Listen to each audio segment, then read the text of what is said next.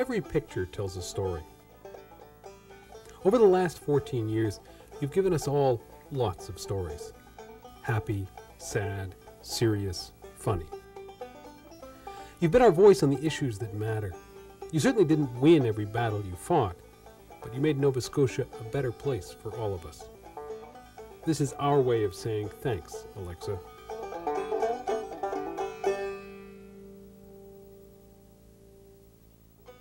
That kid in the high chair grew up to be one of Nova Scotia's most important and respected politicians. These pictures are of a kid from a privileged family, and Alexa was. But in Alexa's family, privilege meant responsibility. She took that responsibility, though seldom herself, seriously.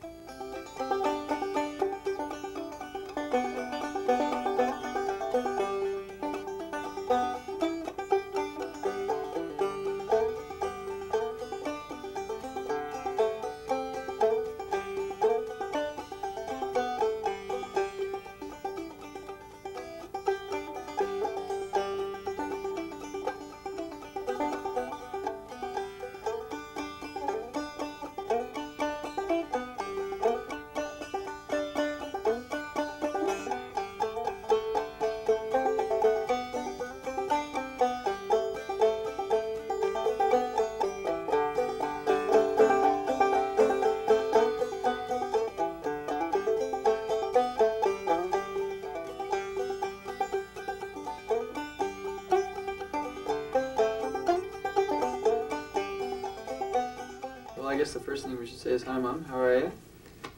Uh, hopefully you can recognize this. Anyway, so Mom, uh, just in the future, we wish you the best. Whatever you do, we're certainly proud of you, and we always will be. And uh, basically, the one thing we are uh, somewhat upset about is that we didn't uh, inherit any of your public speaking skills. So That's hopefully for this sure. attain. But yeah, no, we know, Mom, you've sort of come to a crossroads, and we don't know what your plans are, but we, yeah, we want you to know that we're behind you, and we're, we're going to support any one of your decisions. And uh, basically, we, I don't know much about politics. He knows a little bit more, but um, I do know a little bit about what kind of mother you've been, and you've been uh, fantastic. That's for sure. We couldn't have asked for more, and uh, we love you both. Or we both love you. Sorry. I admire Alexa immensely, not only for her public political accomplishments, but mainly for the loving, caring person that she is in her personal life. I'm really delighted that she's my sister. You know, uh, for the first 25 or 30 years of our relationship, uh, we had kind of a normal brother sister um, uh, relationship where we communicated well and we, we, we did lots of things together. And then, you know, the last 20 or 25 years, I've never won an argument with my sister uh, at all. And, you know, I was kind of discouraged about that. Uh, some would say I even uh, had an inferiority complex about it. But um, then I read in the Daily News and in the Halifax Herald in the last few weeks since she retired that nobody, but nobody, has ever won an argument with Alexa. So I feel kind of better now. I first met Alexa when she came to interview our family. Uh, actually, it was my husband she came to interview. She was a newspaper reporter, I think, with one of the local papers, and she came to do a story about Gus, about Jamaica. We've been friends ever since. Hi, Alexa. I wanted you to know how much it meant to me when you first came to work for the city and the social planning department. And I know that while you came to work for me or in, in the city, that you were most interested in trying to put right some of the wrongs that had been done in Africville. And uh, I guess it was that challenge and the difficulties that really cemented our relationship that's been so meaningful throughout the years. Anyway, Alexa, from the people of Africville, we wish you all the best in your new career. And um, we still love you and we always will. If I stop to think about it, what you really did then, way back in the 70s, was bring a social action project to an old house. And if you think about what you've been doing all these years since, you've really brought a social action mandate to yet another old house. Alexa McDonough has always seemed to me to be a person who shows rather than telling. She shows us that she's honest. She doesn't tell us, like so many politicians. She shows us that she loves Nova Scotia. She shows us that she has compassion. And the result is that we believe her. She rings true. In 1979, Alexa McDonough went from envelope stuffer to candidate, and for the NDP. She ran in the federal riding of Halifax and lost. Less than a year later, there was another federal election. McDonough was trounced again. The seat went to former Premier Gerald Regan. Thanks, Mary. Congratulations. In the fall of 1980, the provincial New Democrats needed a new leader. The party was in trouble. Jeremy Akerman had resigned to become a deputy minister for the Buchanan government. Alexa McDonough won the leadership convention with 82% of the vote. I'd like to thank you very much for giving our children a very important message. And that message is that NDP is not always losing. At this point, McDonough didn't have a seat in the legislature. She waited almost a year for an election. Finally, in October 1981, the people said yes to Alexa. I guess the other thing that I'd like to say is that the one thing that's really too bad about tonight, of course, is that Dad won't be here with us.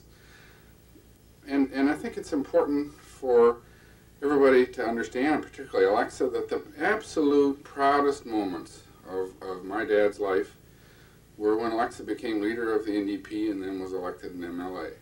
He had a lot to be proud about in his life, but those were, without question, the two proudest moments. Well, I'm so glad that so many were able to get together to celebrate a party, a real party, that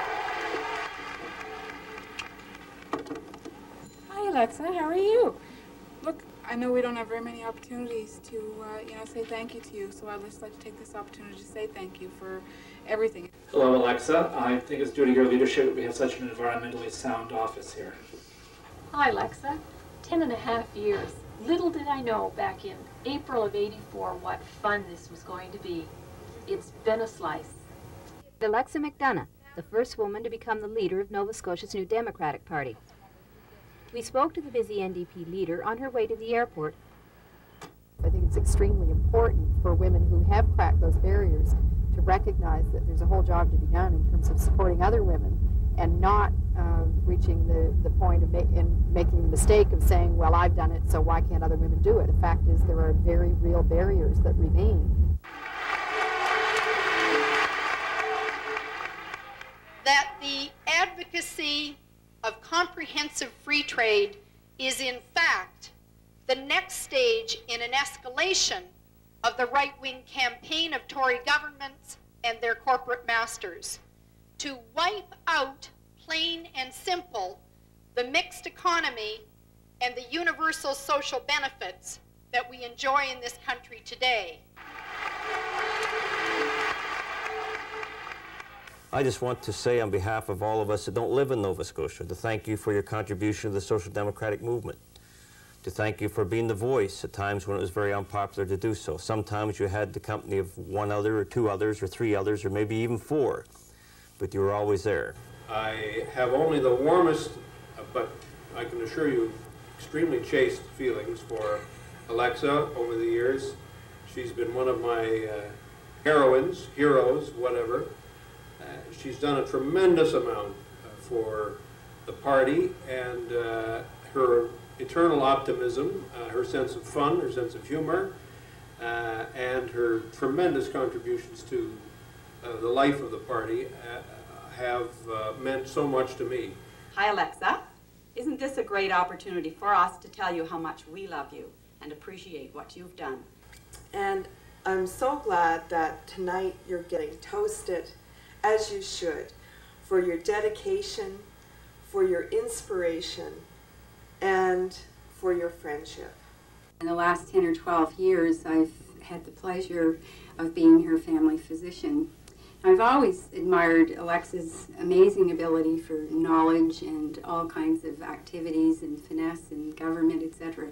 But there's one thing that Alexa has never dealt with, and that's her anatomy and physiology. Alexa, it would be absolutely wonderful to see the same challenge put to you that's been put to all of us. Say something meaningful in 20 seconds. When did you last do that?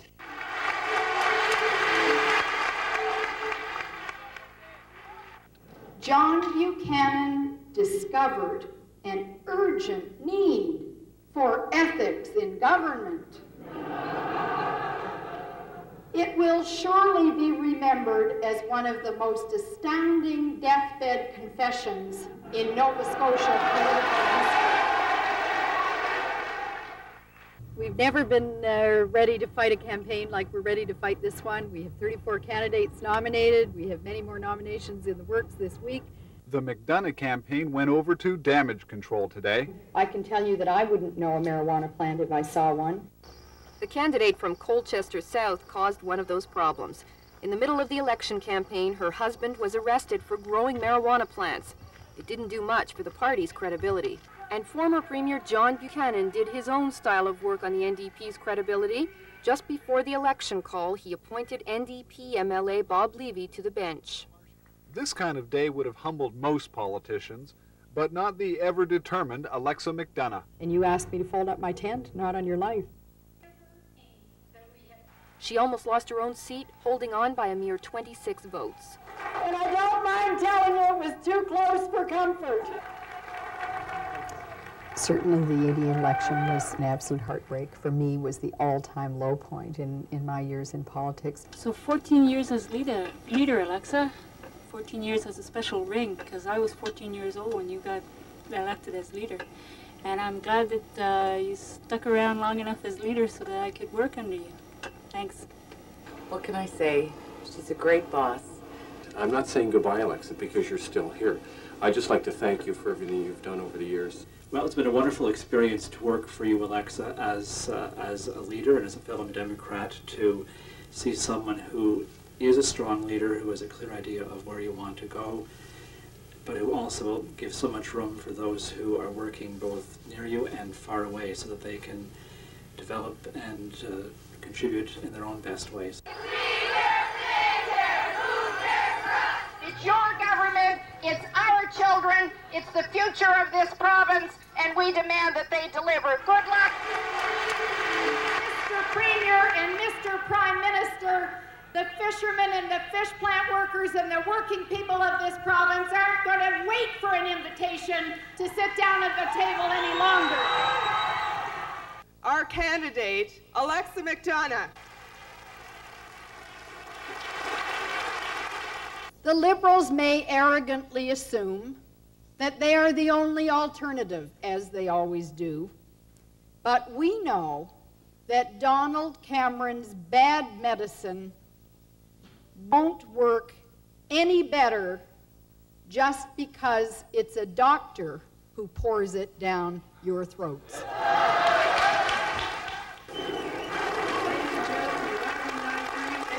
The New Democrats so far have nominated 20 candidates to run when Premier Cameron calls an election. I appreciate your support. Thanks a lot. You take care of yourself.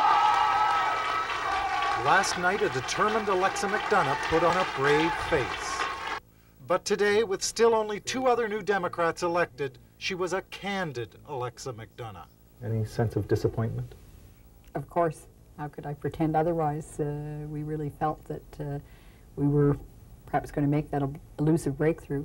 But McDonough believes it was close. I think a lot of people did flirt with the possibility that they would vote New Democrat for the first time.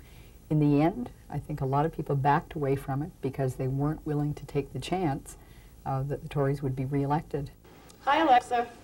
This is the seat from which we did all that candidate search before the 1993 election. I hope you'll be around to help find such excellent candidates next time around. Hi, Leader. Gee, uh, I guess this is about the last time I'm going to get to call you that. But what a fabulous 14 years we've had. And if I had to do it all over again, I would do it. And I would do it with you, only I'd work a heck of a lot harder. You are one of the most natural and articulate politicians that I've ever met. And I hope that we're going to be seeing a lot more of you in the political scene. As you know, I don't say much, but I work. And I wouldn't be here if it wasn't for you. By the way, your count is overdue, Alexa. Thank you for all your time. Hi, Alexa. This is me, Sudsy, just saying happy retirement.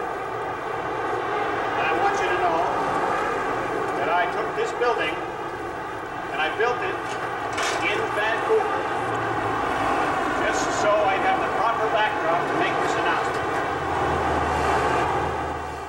Another one of her great time management tricks was to, um, instead of actually parking the Explorer, she would just leave it not illegally parked, but sort of hovering in what some people consider to be an illegal parking spot down on the street below and run upstairs to the office for a second. And uh, of course, I'm sure other people come running down a long second later to find the car uh, locked out of gas and take it sitting there on the road. But that's Alexa and time management.